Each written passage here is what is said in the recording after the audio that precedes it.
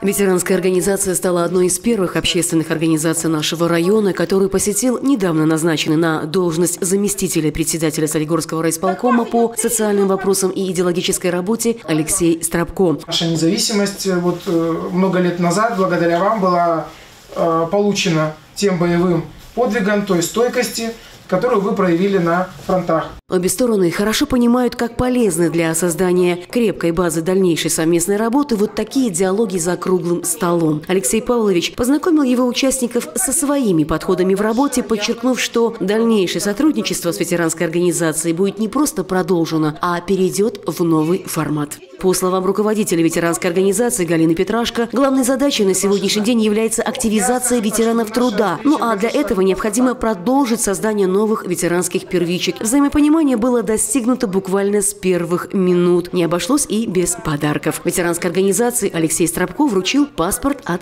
холодильника.